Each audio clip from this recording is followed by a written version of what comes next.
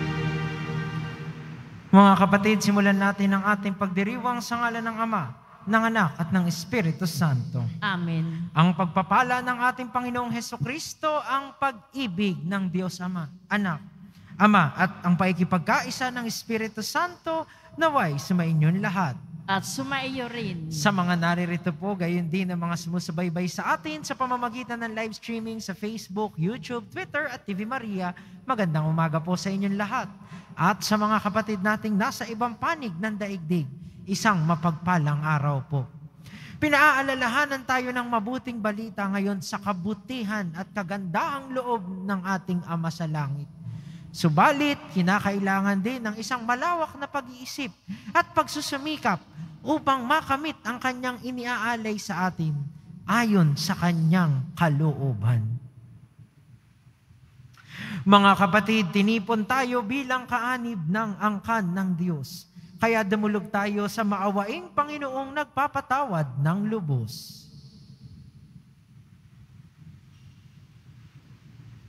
Sinugong tagapagpagaling sa mga nagsisisi, Panginoon, kaawaan mo kami. Panginoon, kaawaan mo kami. Dumating na tagapag-anyayang mga makasalanan ay magsisi, Kristo, kaawaan mo kami. Kristo, kaawaan mo kami. Nakaluklok ka sa kanan ng Diyos Ama para ipamagitan kami. Panginoon, kaawaan mo kami. Panginoon, kaawaan mo kami. Kaawaan tayo na makapangyarihang Diyos, patawarin tayo sa ating mga kasalanan at patnubayan tayo sa buhay na walang hanggan. Amen. Manalangin tayo. Ama naming makapangyarihan, ipagkaloob mo sa aming lagi ang espiritu ng pagsasaloob ng iyong ikinalulugod. Gayon din ang diwang ganapin ito agad at lubos upang kami makapamuhay ng dahil sa iyo sapagkat hindi kami mabubuhay ng walang pagtatangkilik mo sa pamamagitan ni Heso Kristo kasama ng Espiritu Santo magpasawalang hanggan. Amen. Magsiupo ang lahat. Pagbasa mula sa aklat ni Esther. Noong mga araw na iyon, labis na nabagabag si Reyna Esther. Dumurog siya sa Panginoong. Ganito ang daing niya sa Panginoong Diyos ng Israel. Panginoon ko, Tanging ikaw ang hari namin. Tulungan mo ako na ngayon nag-iisa at walang ibang maaasahang tutulong, kundi ikaw lamang. Haharap ako sa napakalaking panganib. Mula pa sa aking pagkabata, Narinig ko na sa liping kinabibilangan ng aking angkan na ikaw, Panginoon, ang umirang sa Israel mula sa dinarami-rami ng mga bansa. At ikaw din sa panahong iyon ay pumili sa amin mga magulang, upang maging iyong bayan magpakailanman.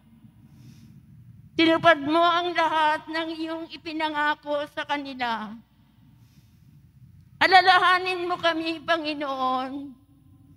Ipadama mo sa amin ang iyong paglingap sa sandaling ito ng kagipitan. Bigyan mo ako ng lakas ng loob. Hari ng lahat ng mga dinidiyos at pinuno ng lahat ng kapangyarihan sa lupa. Bigyan mo ako ng kakayang magsalita sa harap ng leong si Asuero upang maakit ang kanyang puso na namuhi sa taong kumakalaban sa amin. At sa gayo'y mapahamak siya kasama ng mga nakikipagsabuatan sa kanya. Iligtas mo kami, Panginoon. Tulungan mo na ako na ngayon nag-iisa at walang ibang maaasahang tutulong, kundi ikaw lamang. Ganap mong nababatid ang lahat. Ang salita ng Diyos. Salamat sa Diyos. Noong ako'y tumawag, tugon mo'y aking tinanggap. Noong ako ay tumawag, tugon mo'y aking tinanggap. Ako, poon, buong pusong aawit ng pasalamat sa harap ng mga anghel. Pupurihin kitang ganap. Sa harap ng iyong templo, ay yuyuko at gagalang. Pupurihin kita roon. Pupurihin ang iyong ngalan. Noong ako ay tumawag, tugon mo'y aking tinanggap. Dahilan sa pag-ibig mo at sa iyong katapatan, ikaw'y tunay na dakila, pati iyong kautusan. Noong ako ay tumawag, tinanggap ko ang tugon mo. Sa lakas mong itinulong, ay lumakas agad ako.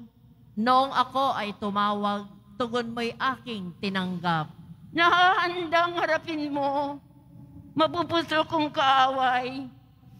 Ligtas ako sa piling mo, sa lakas na iyong taglay. Yung mga pangako mo ay handa mong tupting lahat. Ang dahilan nito poon, pag-ibig mo hindi kukupas. At ang mga sinimulang gawain mo'y magaganap. Noong ako ay tumawag, tugon mo'y aking tinanggap. Magsitayo ang lahat.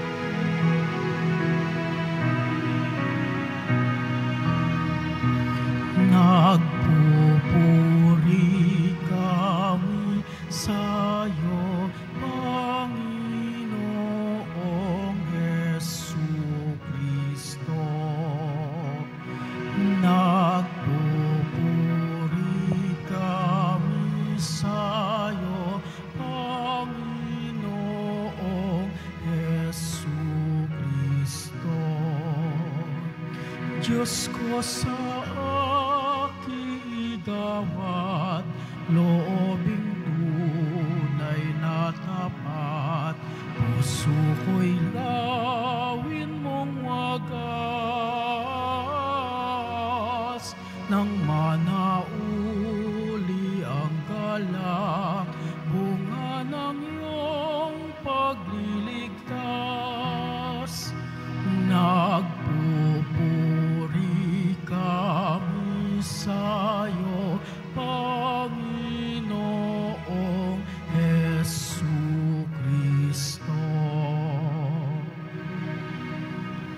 Sumainyo ang Panginoon. At sumaiyo rin. Ang mabuting balita ng Panginoon ayon kay San Mateo. Papuri sa iyo, Panginoon. Noong panahong iyon, sinabi ni Jesus sa kanyang mga alagad, Humingi kayo at kayo'y bibigyan. Humanap kayo at kayo'y makasusumpong. Kumatok kayo at ang pinto'y bubuksan para sa inyo. Sapagkat tumatanggap ang bawat humihingi, nakasusumpong ang bawat humahanap, at binubuksan ang pinto sa bawat kumakatok. Bibigyan ba ninyo ng bato ang inyong anak kung humihingi ng tinapay? Bibigyan ba ninyo siya ng ahas kung humihingi ng isda? Kung kayo na masasama ay marunong magbigay ng mabubuting bagay sa inyong mga anak, gaano pa kaya ang inyong amang nasa langit? Ibibigay niya ang mabubuting bagay sa mga humihingi sa Kanya. Kaya gawin ninyo sa inyong kapwa ang ibig ninyong gawin nila sa inyo. Ito ang kahulugan ng kautosan ni Moises at ng turo ng mga propeta.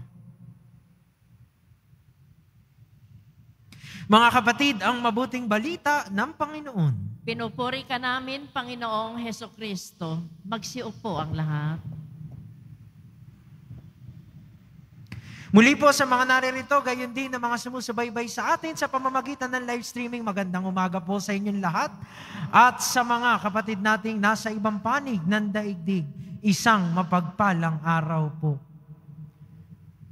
Gaano tayo kabukas sa kalooban ng Diyos? Kung titignan po natin ang ating mabuting balita ay napaka direkta, no? Sinasabi ng ating pong Jesus Nazareno, sa totoo lang, kung ano ang hinihingi ninyo ay ibibigay ng Ama. At siguro lahat tayong naririto may karanasan na mapagpapatanong sa atin, eh bakit ho yung mga dati kong ipinagdasal hindi nangyayari? Umasa ako na magkaroon ng bagong trabaho, umasa ako na guminhawa yung buhay namin, pero tatlo, apat, limang taon ang lumilipas. Bakit, Lord, parang ganun pa rin? Humingi ako na mapatagal pa ang buhay ng aking nanay o ng aking tatay, pero bakit naman parang napakaaga nyo siyang kinuha sa inyo? Nakakailang retake na ako ng exam. Nakakailang dasal na rin. Pero bakit ngayon, nasa review pa rin ulit ako? At kailangan ko pa rin mag-refresher. No? Hindi na po natin palalawigin ang kabutihan ng Ama sa mga panalangin natugunan. Pero paano doon sa mga hindi? Maganda pong tignan iyong unang pagbasa bilang ating batayan. No? Si Reyna Esther, no? ninanais na mabigyan ng lakas ng loob. No? Lahat idinasal niya. Kinilala niya ang lahat ng nagawa ng Panginoon. Kinilala niya ang mga ibinigay sa Kanya. At pinagpapasalamat niya yon. Kasabay nun, at ito katulad natin, lahat ng hinihingi. No? Sabi nga, wag na natin, hindi na ako mahihiya sa iyo, Lord. Kakapalan ko na ang mukha ko. Hiningi ang lahat. Pero ano ang kanyang huling salita? Ganap mong nababatid ang lahat. Ibig sabihin, may pag-amin na tayo, limitado lang yung kaya nating makita sa buhay natin. Kahit kilalang kilala natin ang ating mga sarili, kahit kilalang kilala natin ang ating mga pangangailangan at pinagdaraanan, may pagtitiwala na ang Diyos ay mas nakababatid, mas may karunungan. At sa madaling sabi, mas alam ang kailangan natin kaysa sa gusto natin. Mas alam ang, mas, ang angkop na kahihinatnan natin sa buhay. At gusto niya,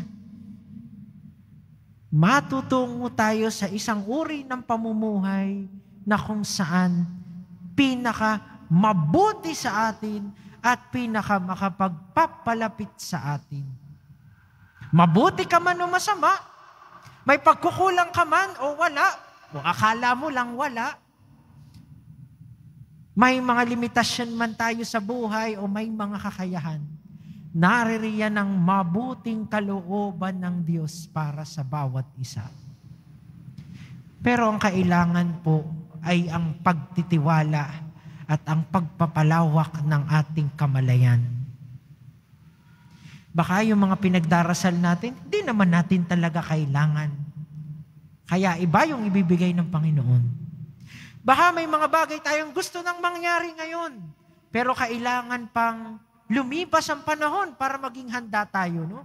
Gaya ng mga prutas na dapat mahinog muna para maging masarap kainin. O gaya ng mga halaman na kailangang tumubo muna.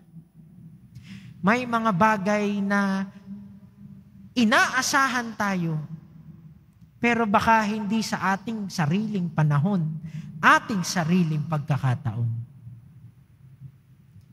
Ano ang kinakailangan? Sapat na pagbubukas at sapat na pagtitiwala sa Diyos. Kasabay noon ng sapat na pagsusumikap na maging mabuti, maging makatarungan, maging tapat, maging mapagmakaawa, maging mapagmalasakit. Dahil sino tayo para pagkaitan ng iba kung ang Diyos ay naging mabuti sa atin? Hindi lang sa oras ng kaginhawaan, subalit pati na rin sa oras ng mga pinagdaraanan. At isang tanda, ang ating pong Jesus Nazareno. Alam ng Diyos ang pangangailangan ng kaligtasan, hindi niya agad-agad ibinigay yon sa isang palakpak ng kamay. Sa halip, alam niya ang pangangailangan ng tao sa kaibuturan nito, yung pakikiramay Kaya't siya ay dumamay sa ating buhay. Sumama hanggang sa pinakamasaklap na karanasan, ang kamatayan. Subalit sa pagdaan sa kamatayan, pinangakuan ng bagong buhay. At ito po yung pinaghahandaan natin ngayon sa Kwaresma. Ito rin po ang ating dahilan ng pagiging mga mananampalatayang Kristiyano at sa pagpapatuloy ng ating banal na misa, sa pagkakita at sa pag-unawa ng lahat ng ito, hingin natin ng biyaya na sana ay magkaroon tayo ng sapat na pagtitiwala, sapat na pagsusumikap, sapat na pagpapasensya sa kung ano ang kalooban ng Diyos sa atin. At sa pagpapatuloy ng araw na ito, tanungin natin ang ating mga sarili. Ano yung mga bagay na pinagdarasal ko na hinihingi ko na kailangan ko pang pagsumikapan, kailangan ko pang maging mapagpasensya, kailangan ko pang hintayin ang tamang panahon at pagkakataon ayon sa kalooban ng Diyos. Mahal na pong Jesus Nazareno, maawa ka sa amin. Magsitayo ang lahat.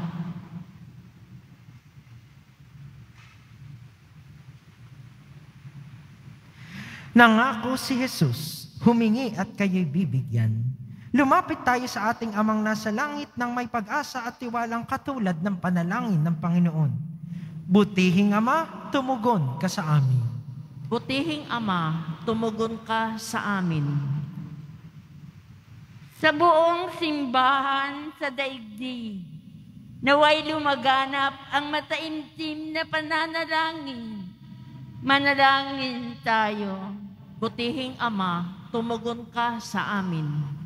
Ang mga taong nalululong sa masasamang bisyo at nasasadlak sa kasananan na may naway humingi ng kapatawaran, manalangin tayo. Butihing Ama, tumugon ka sa amin. Tayo naway manatili sa pananalangin kahit tayo ay pinanghihinaan ng loob dahil sa mga kabiguan sa buhay, manalangin tayo. Butihing Ama, tumugon ka sa amin. Ang mga may sakit, naway makita ang kahulugan ng kanilang pagtitiis sa kanilang karamdaman, manalangin tayo. Butihing Ama, tumugon ka sa amin. Sa katahimikan ng ating puso't diwa ay alay natin sa Panginoon ang ating mga panalangin, gayon din ang mga panalangin ng mga taong mahalaga sa atin. Sama po natin sa ating mga dasal, ang mga frontliners at health workers at lahat ng nagsisilbi sa bayan at sa ating mga komunidad sa ating mga kapitbahayan na nagsisilbing tanda ng pag-asang iniaalay ng Diyos sa kanilang paglilingkod sa kapwa. Manalangin tayo. Butihing Ama, tumugon ka sa amin. Ama naming nasa langit, pinasasalamatan ka namin sa pagdinig mo sa aming mga kahilingan. Hinihiling namin ito sa pamamagitan ni Kristong aming Panginoon. Amen. Magsiupo ang lahat. Sa pagsunod sa utos mo,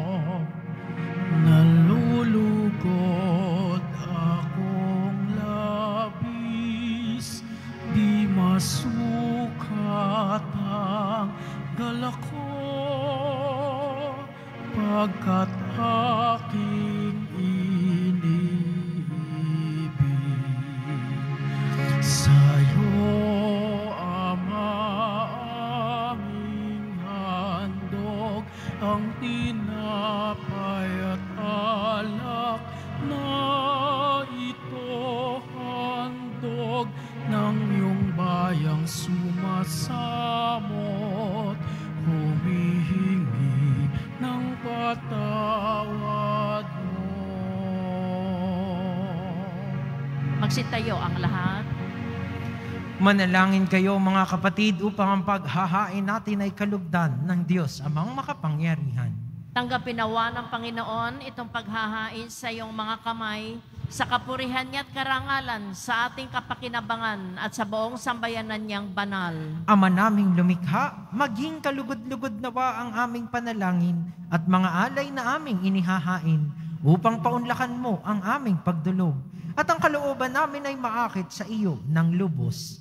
Sa pamamagitan ni Yeso Kristo kasama ng Espiritu Santo, magpasawalang hanggan. Amen. Sumainyo ang Panginoon. At sumaiyo rin. Itaas sa Diyos ang inyong puso at diwa. Itinaas na namin sa Panginoon. Pasalamatan natin ang Panginoong ating Diyos. Marapat na siya ay pasalamatan.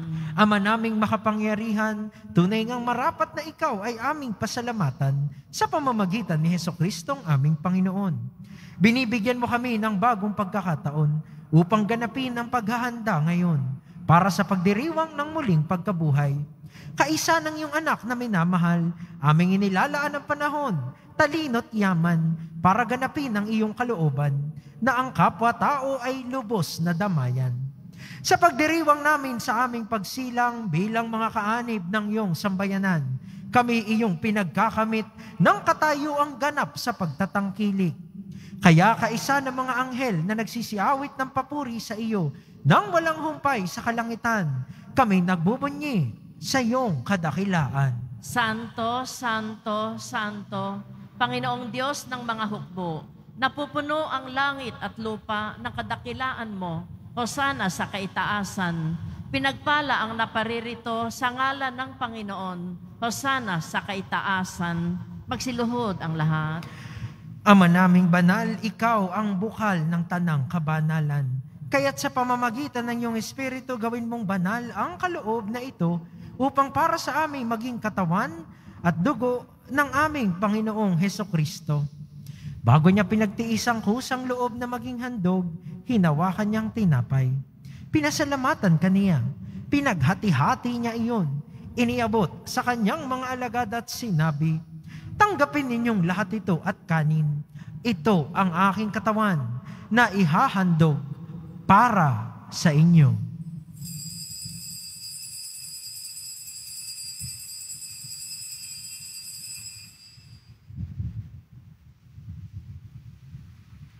Gayun din naman, nung matapos ang hapunan, hinawakan niya ang kalis. Muli kanyang pinasalamatan. Iniabot niya ang kalis sa kanyang mga alagad at sinabi, Tanggapin ninyong lahat ito at inumin. Ito ang kalis ng aking dugo, ng bago at walang hanggang tipan. Ang aking dugo na ibubuhos para sa inyo at para sa lahat, sa ikapagpapatawad ng mga kasalanan. Gawin ninyo ito sa pag-alala sa akin.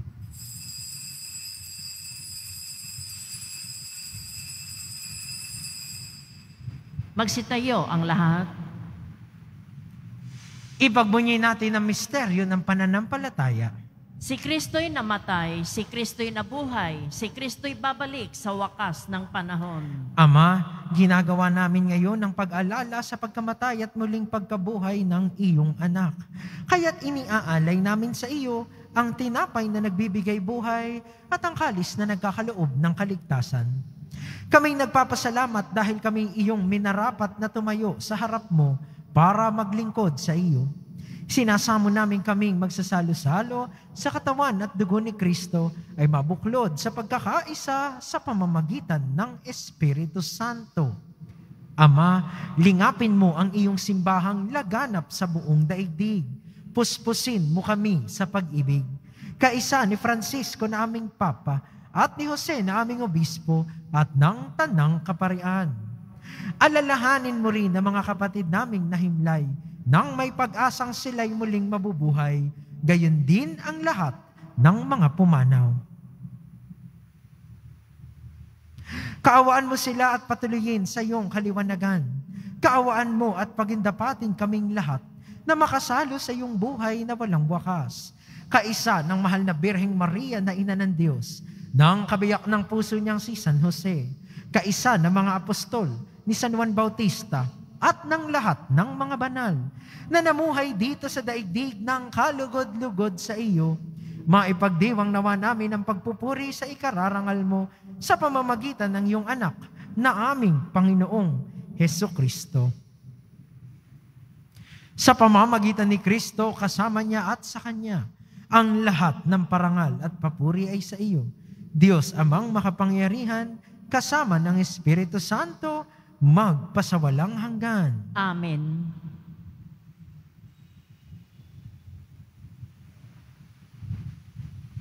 Sa tagubilin ng mga nakagagaling na utos sa turo ni Jesus na Panginoon natin at Diyos, ipahayag natin ng lakas loob. Ama namin, sumasalangit ka, sambahin ang ngalan mo, mapasa amin ang kaharian mo, sundin ang loob mo dito sa lupa para ng sa langit. Bigyan mo kami ngayon ng aming kakanin sa araw-araw at patawarin mo kami sa aming mga sala para ng pagpapatawad namin sa nagkakasala sa amin at huwag mo kaming ipahintulot sa tukso at iadya mo kami sa lahat ng masama. Hinihiling namin kami iadya sa lahat ng masama. Pagkalooban ng kapayapaan araw-araw, iligtas sa kasalanan at ilayo sa lahat ng kapahamakan. Samantalang aming pinananabikan ang dakilang araw ng pagpapahayag ng tagapagligtas naming si Heso Kristo. Sapagkat iyo ang kaharian at ang kapangyarihan at ang kapurihan magpakailanman. Amen. Panginoong Heso Kristo, sinabi mo sa iyong mga apostol, kapayapaan ang iniiwan ko sa inyo. Ang aking kapayapaan ang ibinibigay ko sa inyo. Tunghayan mo ang aming pananampalataya at huwag ang aming pagkakasala.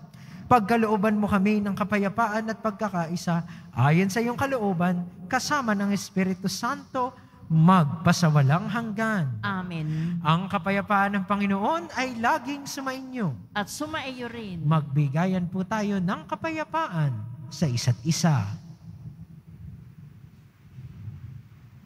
Kordero ng Diyos na nag-aalis ng mga kasalanan ng sanlibutan, maawa ka sa amin. Kordero ng Diyos na nag-aalis ng mga kasalanan ng sanlibutan, maawa ka sa amin. Kordero ng Diyos na nag-aalis ng mga kasalanan ng sanlibutan, ipagkaloob mo sa amin ang kapayapaan. Magsiluhod ang lahat. Mga kapatid, ito ang kordero ng Diyos. Ito ang nag-aalis ng kasalanan ng sanlibutan. Mapalad ang mga inaanyayahan sa kanyang piging. Panginoon, hindi ako karapat-dapat na magpatuloy sa iyo. Ngunit sa isang salita mo lamang ay gagaling na ako. Katawan ni Kristo. Amen.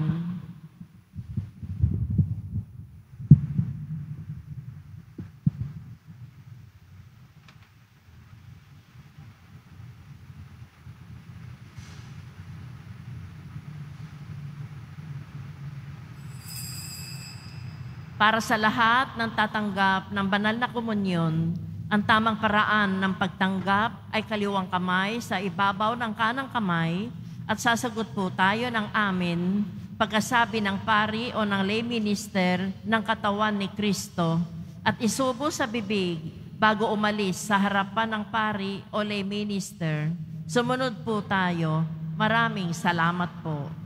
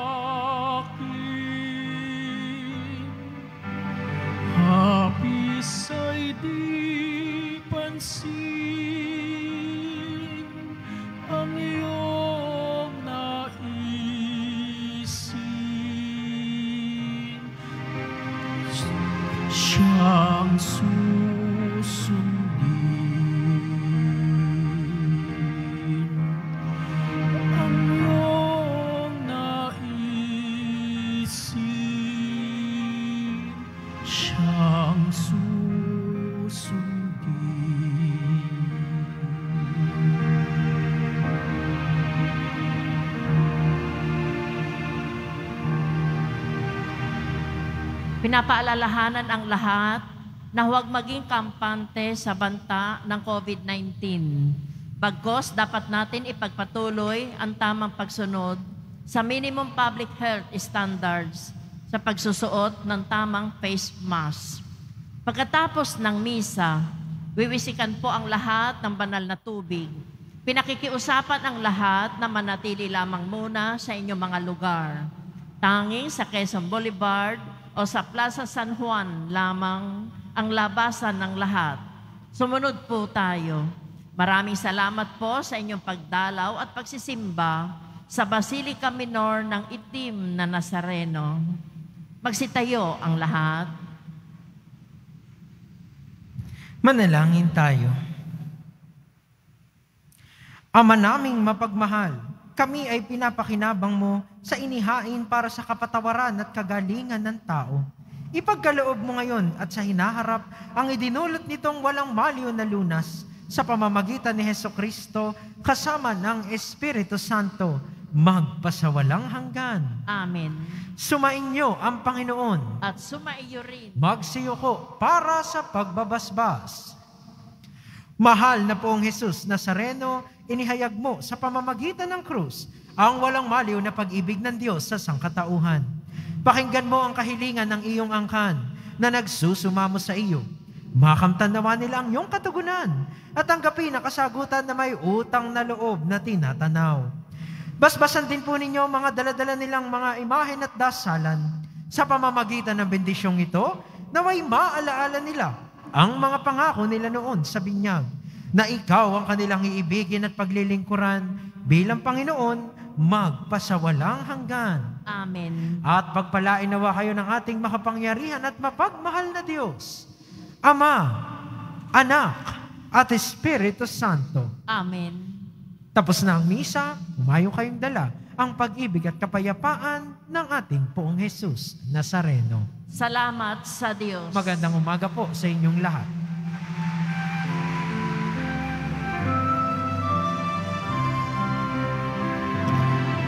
Nuestro Padre Jesús Nazareno,